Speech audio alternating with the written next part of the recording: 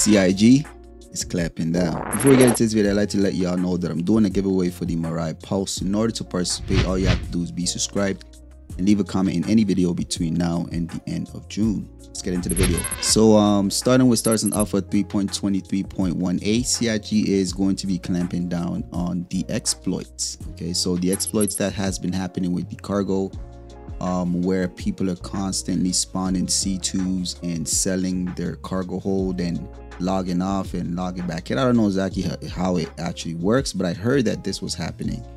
So CIG posted a Spectrum post um, and it, this one is by Will Soul Crusher Leverett, and um, this is the senior director of player relations. Okay, so this is pretty interesting. I think you should listen up. We've completed an investigation into multiple exploits within Star Citizen that compromised stability and negatively impacted the in-game economy. As a result, we have resolved multiple AUEC exploits in 323.1a and we've identified and suspended over 600 accounts involved in exploitative behavior while also removing the illicitly gained AUEC from the Star Citizen ecosystem. 600 accounts has been suspended. Damn, that's big. That's big, man. All you guys that just want to cheat, man, come on, bro. Just play the game and enjoy the game, man. You don't need to be cheating. You lose the will to grind when you cheat and get all this AUEC, right? You, you just lose it. You don't have any reason to log in anymore after you gain all of it, right? So I think you're honestly rooting it for yourself, to be quite honest. It continues to say cheating and exploiting undermine the integrity of our game and the efforts of our dedicated backers who help us build Star Citizen. We take these actions seriously and assure you that we will continuously develop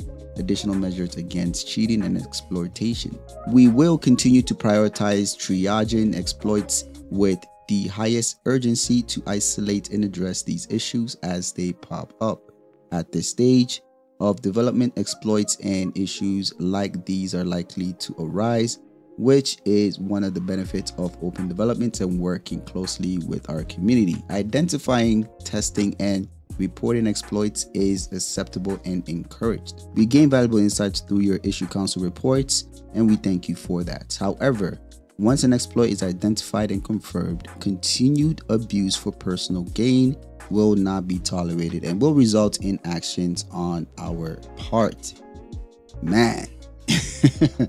Yeah, that's true. If it's identified and you know of it and you're doing it, yeah, they're gonna clamp down. It looks like okay. So, so once again, we are super appreciative of your efforts in flagging recent issues and your general support in utilizing the issue council. We'll keep you updated as we continue to develop measures to ensure fair play. Thank you and see you in the verse. Man, so that is essentially it. They're clamping down on those people that were abusing the exploitation.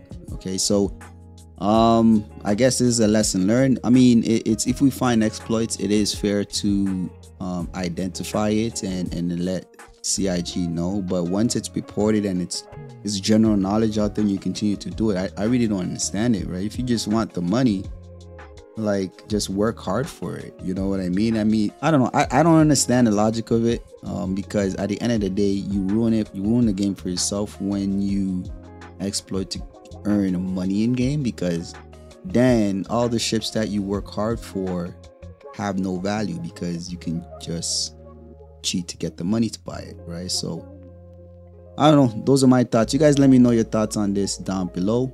Don't forget to leave a like, subscribe. I'll catch you guys on the next one.